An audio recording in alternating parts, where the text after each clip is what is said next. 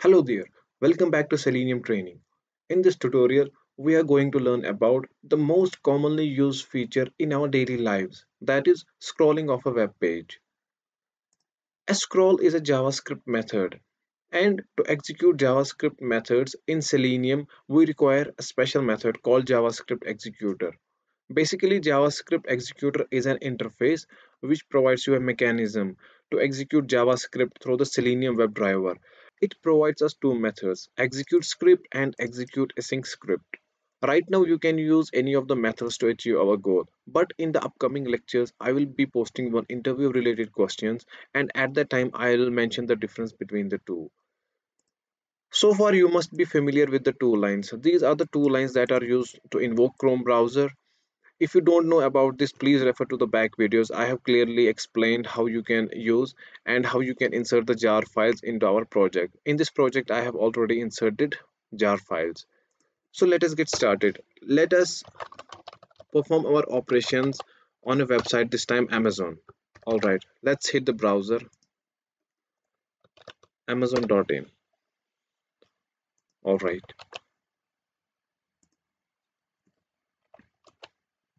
all right we are inside amazon. Now we need to scroll this home page of amazon website. But before that i want to show you one trick here. Just go to uh, just click on the three dots and go to more tools and developer tools. You can also press ctrl shift i all right here you can go to console. We have a method to scroll a uh, page. We can check from here. You can type the command window yes window. Dot. There is a method called scroll. Scroll. Here it is scroll by. And here you have to pass the coordinates. Let me pass x coordinates and y coordinates. You see the page is scrolled from here to here. Let us copy the same into our project. But before that as i mentioned we have to use javascript executor so let's insert our uh, let's insert a method javascript executor.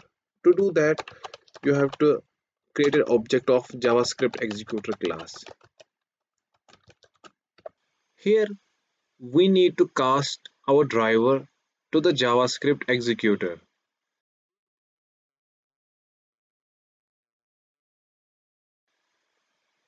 Now our javascript has knowledge and now it can execute any material, any methods related to JavaScripts.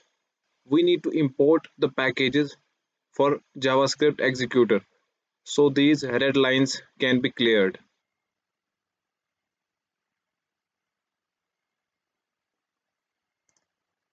Alright.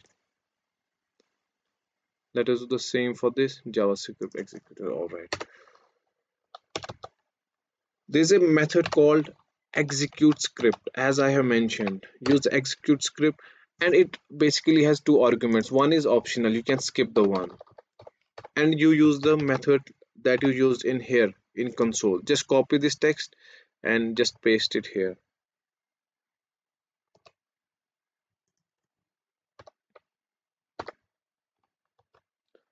Alright guys. Let us execute the script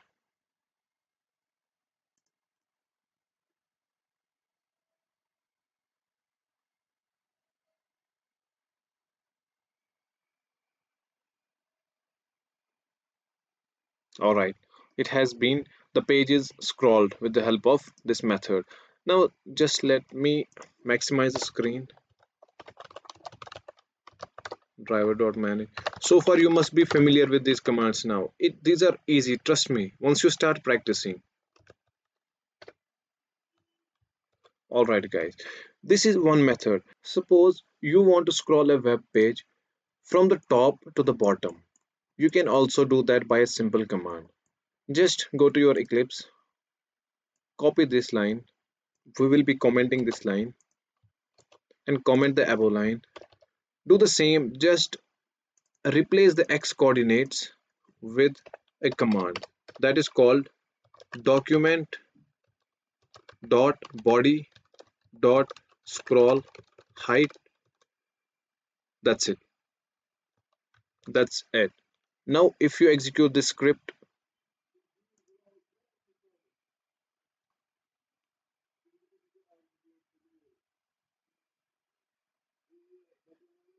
now you can see our page has scrolled from the top to the bottom.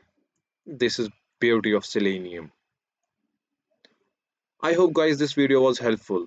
If you know any other method uh, regarding the page scrolling, please mention it in the comments.